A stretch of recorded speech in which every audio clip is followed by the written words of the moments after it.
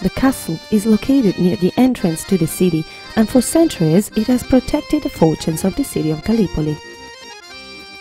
It is conceivable the pre-existence of a military building from the early Middle Ages that modified and expanded as usual by the alternation of the Norman, Angevin and Aragonese rulers.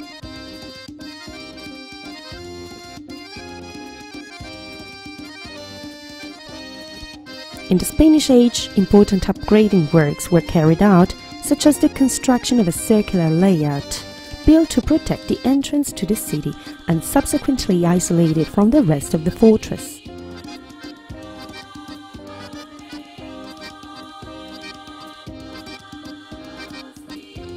The castle was protected by a wide moat and the access to the building was guaranteed by the presence of a drawbridge.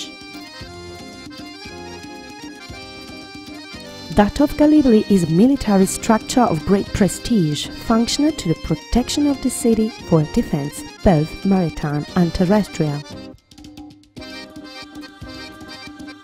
The construction of the covered market, built near the ancient facade of the castle, dates back to the 19th century. Thanks to the recent redevelopment, the spaces have returned to public use and are animated by bars, flea markets and shops.